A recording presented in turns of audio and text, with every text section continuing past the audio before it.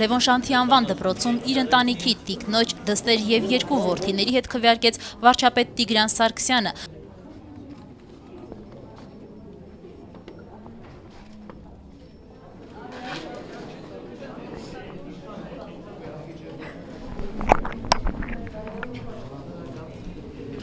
Միասին, միասին, միասին, միասին։ Ահա, լավ է։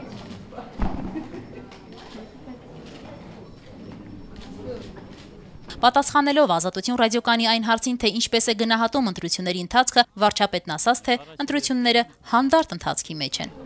Այսօրվա տեղեկ- տեղեկատվությունը, որ մենք ունենք, ընտրությունները հանդարտ ընթացքի մեջ են, բոլոր այն դիտողությունները եւ առաջարկությունները, որոնք արվում են, բնականաբար գտնվելու են մեր ուշադրության կենտրոնում եւ իրավապահ մարմինները իրենց լիազորությունների շրջանակներում իրականացնելու են բոլոր անհրաժեշտ գործառույթները, որպեսզի կասկած չմնա,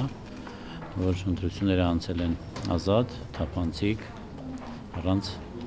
խախտումների։ Պարոն վարչապետ, գործող նախագահը գրեթե բոլոր մարզերում, համայնքներում հորդորում էր ազատ եւ արդար ընտրություններ անցկացնել, բայց մամուլում արդեն տեղեկություններ կան շրջանառումի նորից ընտրակաշառքների հետ կապված, արդյոք այդ հորդորները տեղ չեն Եթե ես հասել, թե չեմ, եթե չեմ սխալվում, այսօր էլ կա- կարոզել եւ հակակարոզել չի կարելի, ճիշտ է։ Դրա համար կարծում եմ ճիշտ չի։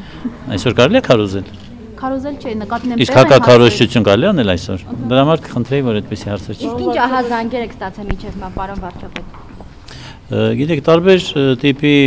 հարցադրումներ լինում են, որ ասենք առաջինը, որ ինչ որ մարդիկ փորձում են կնիքը, որ դրված է անznագրում, արհեստական ձևով այդ կնիքը ջինջել, արդյոք դա հնարավոր է թե հնարավոր չի։ Կան ահազանգեր, որ մեքենաներով մարդկանց բերում են։ Այդ բոլոր ահազանգերը, որոնք այս պայդրությամբ կամ գտնվում են մեր ուշադրության կենտրոնում եւ առանձին առանձին բոլոր դեպքերը ուսումնասիրվում են։ Զեբրի վրա եք կանգնած։ Զեբրի։ Այո, ձեր մեքենան կանգնած է անցկանում։